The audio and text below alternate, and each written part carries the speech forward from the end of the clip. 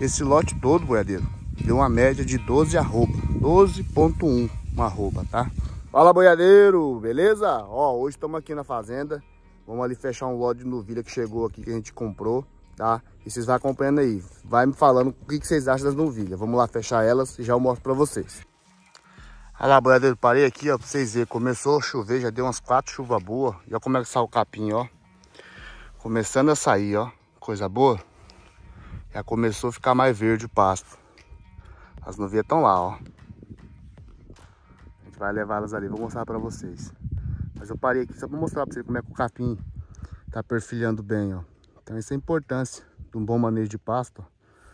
O capim não tá rapado, então a chuvinha que dá, ele vai brotando rápido. E como também não tá muito alto, não tá passado, ele sai bem, ó.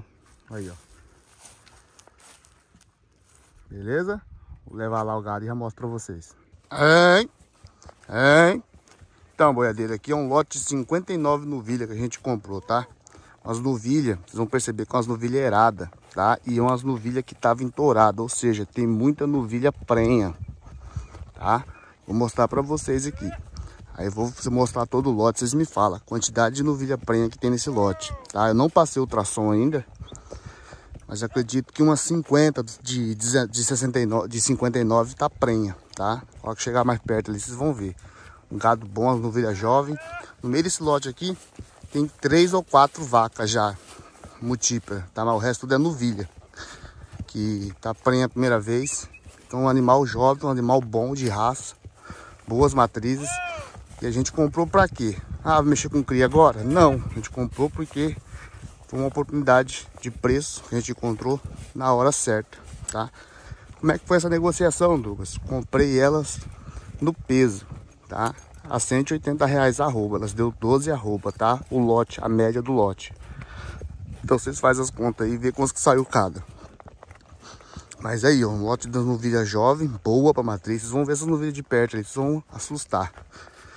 Pra quem vai trabalhar com cria, um lote de animal top para fazer matriz, né? Tem muita novilha que vai jogar bezerro no chão já nos próximos 15 dias, tá?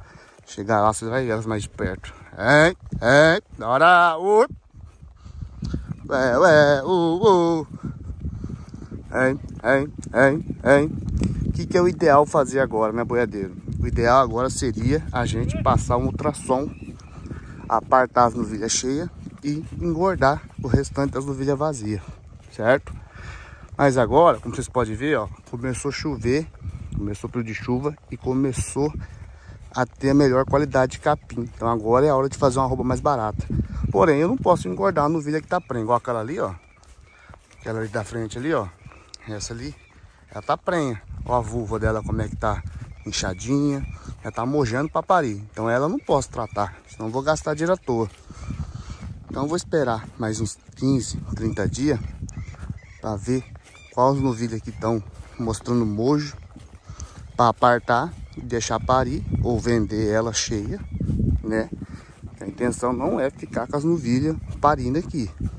Comprei porque eu comprei num preço bom, oportunidade de negócio e agora a gente vai fazer dinheiro com ela. Então aquela terceira novilha, primeira novilha aqui, ó dessas quatro aqui, ó. É uma novilha que tá prenha. Como é que tá a vulva inchada, tá mostrando mojo, olha o peito dela como é que tá cheio, ubre. Ou seja, é uma novilha que já tá mojando. Já tá preparando já o seu organismo para parir. Então essa é uma que tá cheia. Essas três aqui não tá, na minha opinião, tá vazia, tá? Aquela mochinha ali, ó, tá cheia. Olha o gado aí, hein, hein, hein. Aquela 21 na cara lá tá cheia. Hein, hein. Agora, oi. Entra, vai, vai. Então esse lote todo, ó, essa aqui tá cheia. Esse lote todo, boiadeiro, deu uma média de 12 arroba. 12.1 uma arroba, tá? Então esse é o lote. Tem, eu acredito que 69, da 59 deve ter umas 45 a 50 novilha cheia. Oba, vai, vira, oi, oi, oi, oi. Bora, vai. Como as novilhas novas aqui ainda estão meio espantadas, tá? Ai. Bora, não marquei elas ainda. Vou marcar elas daqui. Próxima semana eu vou marcar elas pro curral e marcar, certo? Marcar e vou colocar um brinco de mosca, porque elas vieram com bastante mosca de chifre e tá incomodando elas. Pode ver que só batendo no rabo.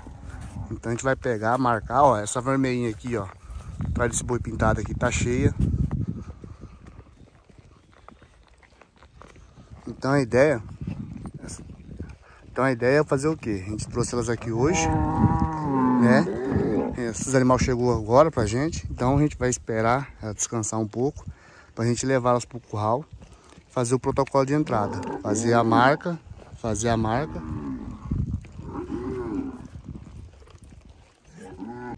Então qual que é a ideia, pessoal? A gente fazer, né, levar elas pro curral, marcar a minha marca, que eu não marquei ainda, né, colocar um brinco de mosca do chifre nelas, porque estão bem incomodando, olha o tanto as moscas batendo o rabo, ó. A nuvinha boa? Vocês acharam do lote? Olha essa novilha aqui, ó. As novilhas boas, então, como eu te falei, de vaca. Então é o seguinte, o plano é o seguinte, né? Levar elas pro curral, né? Semana que vem. Marcar e colocar o chifre de mosca. Que estão bem incomodadas, ó. Aí tá cheio de mosca. Não adianta, na zaga agora é só brinco. E o brinco ele dura 180 dias de eficácia. Ó, essa novilha aqui tá cheia. A novilha tá cheia. Vou dar um rodeio aqui mostrar aqui. Ó, aqui uma vaca, ó. Falei pra vocês, são três vacas, né, ó. Essa chifrudinha aqui também tá mostrando mojo já, ó. É uma vaca já, ó. Tá pra parir. Aquela outra chifrudinha lá, ó. Olha lá como é que a vovó dela tá cheia. O ubo cheio, também tá querendo mojando pra parir. Então são três, a outra vaca aqui, ó. Então são três vacas eradas no lote. O restante era vaca jovem mesmo. Combinado? Então é isso aí, boiadeiro. Então é isso aí, boiadeiro. Fala pra mim o que você achou do lote novilha. Então, tá aí. 59 novilha, entorada. Das 59 deve ter umas 45 a 50 cheia. Vamos esperar marcar elas pra próxima semana. Colocar um brinco de mosca. E a gente vai apartar depois pra ver qual novilha. Deixar as novilhas mais cheias, perto de parir, mojando aqui perto da casa. Não ter perigo de onça pegar o bezerro. E as novilhas que a gente achar que tá vazia, a gente vai separar e tratar elas, combinado? Mas fala aí pra mim, o que vocês acharam da novilha?